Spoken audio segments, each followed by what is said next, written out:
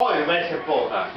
When you come to people kick you, okay, without touching the ground, whoever who call, kicks the ball got the possession of the ball. So Call- at call that mark. point, call the mark.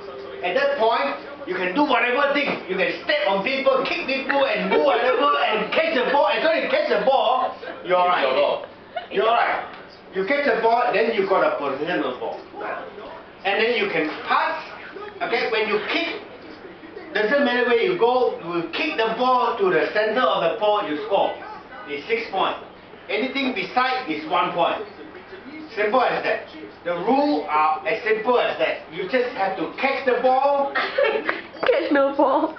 and kick. And straight. kick, kick what? Oh, kick the One ball. And then when, when the rule come in, And the ball is not it's, it's as simple as uh, rugby is different. Rugby union is more difficult. Okay, when people who are, as long you are attacking a person with the position of the ball, let's say you are, see the ball coming, right? Everybody want to catch, ma.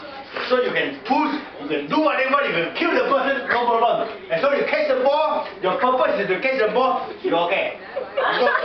So, AFL. AFL you it can do doesn't that. matter what you do.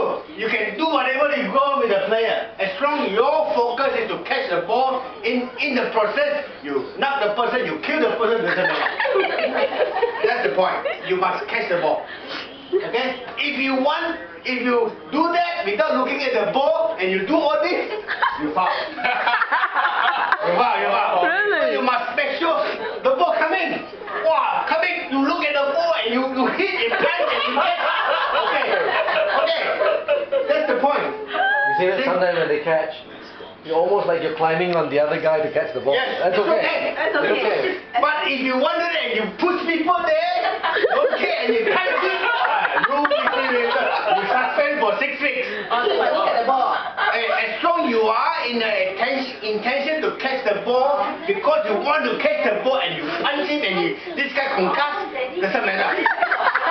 Doesn't matter. Right? That's the rule. Simple as that. That's why the game is become very interesting. It's a big field, 18 players, a lot of players.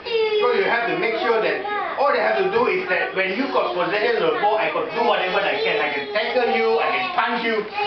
You got the possession of the ball, people bounce on the floor and you catch, right? Wow, you have to dispose of the ball. That's the only difference with rugby. Rugby, you hang on.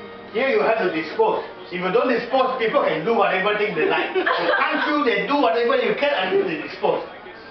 That's it. So if you understand this, that's the game of